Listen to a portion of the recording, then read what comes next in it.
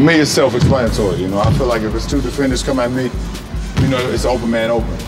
I mean, simple as that. So, you know, basically it's the same move. Set the guy up, hit him with the left, right. Once I get into the lane, you know, if the guy steps up, you know, I'm gonna look for my open shooter in the corner every time. And that's 10 times out of 10. You know, me being the unselfish player that I am, I'm always gonna look for my shooter in the corner.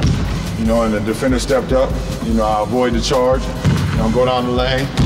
I don't go in, and jump off my feet. I just throw an easy pass to my shooter in the corner, and that's, uh, that's easy money.